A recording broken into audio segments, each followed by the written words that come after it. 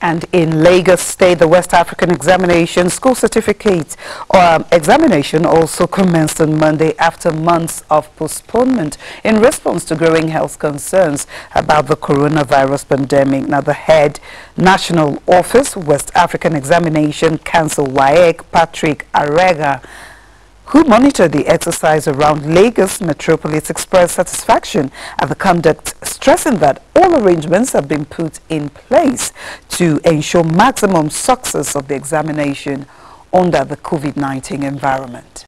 The fact that there was like the pause, that we're not sure whether we're going to write this exam or not, it's a relief for all of us because now we can move forward because this is like the first step to the rest of our lives. Boluwatife Akemba a final year student of Agidingbi Senior Grammar School in Lagos, expressing joy over the opportunity to write an examination she described as a lifetime achievement project.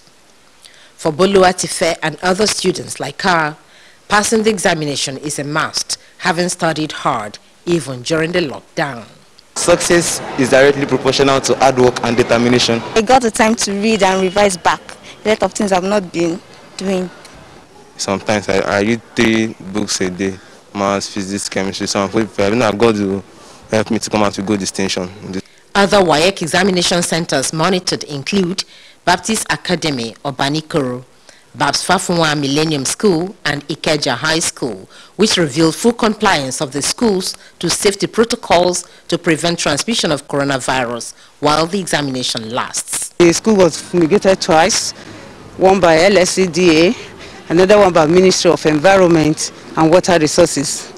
And uh, before the students, before they came on board, August 3rd, we were given, um, by the government, state government, we were given um, face masks to be dis distributed to students. Immediately we went on uh, lockdown, we enrolled everybody on Telegram, and all my teachers keyed into the teaching and learning process online. The head, National Office, West African Examination Council, WAEC, Patrick Areghan, who monitored the exercise around Lagos metropolis, expressed satisfaction at the conduct so far, but warned that any principal, supervisor or invigilator caught compromising WAEC standard in any form will face the wrath of the law.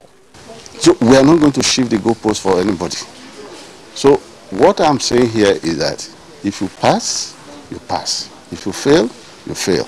So nobody should delude himself by thinking that, oh, because of this situation, work is going to lower standard. No lowering of standard for anybody.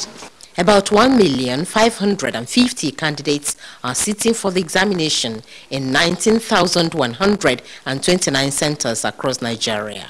Nkoli Omodu, AIT News, Lagos.